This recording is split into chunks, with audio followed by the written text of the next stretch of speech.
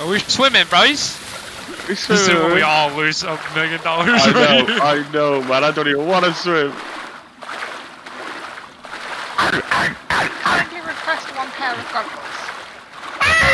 Yeah, that's fine. I know you goggles, Chelsea.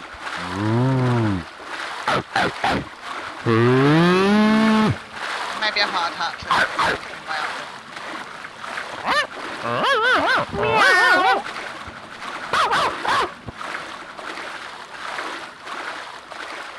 What the fuck is going on here?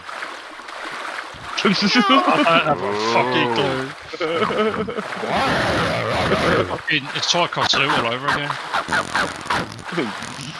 Alright, you boys ready?